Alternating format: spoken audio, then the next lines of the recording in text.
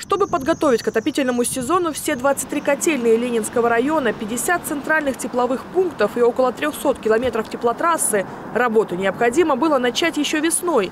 Так и поступили сотрудники Видновского производственно-технического объединения городского хозяйства. Сейчас идет гидроиспытание внутриквартальных трасс. Во время гидроиспытаний выявляются у нас э, и прорывы трубопроводов, и какие-то там вещи, вот, которые мы э, по ходу сами своими силами устраняем. Сегодня в городе можно встретить разрытые участки земли, где производится замена труб. Некоторым жителям такие места доставляют неудобства. Работы нередко приводят к перебоям в поступлении воды, но это мера вынужденная, и люди к этому относятся с пониманием.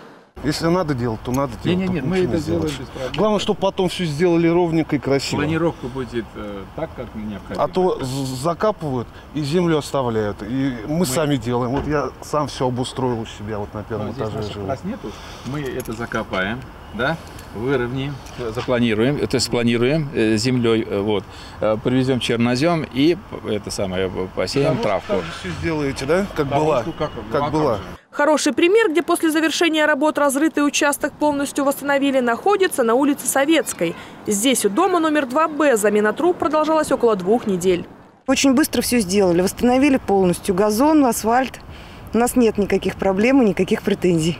На 1 июля работы были выполнены на 45%. Эта цифра соответствует графику, поэтому сотрудники Видновского ПТО ГХ уверены, замена труб будет завершена в срок, несмотря на то, что параллельно они работают над еще одним этапом подготовки к отопительному сезону. С началом планового отключения холодной воды стартовала проверка магистральных тепловых сетей и оборудования на самой тепловой станции.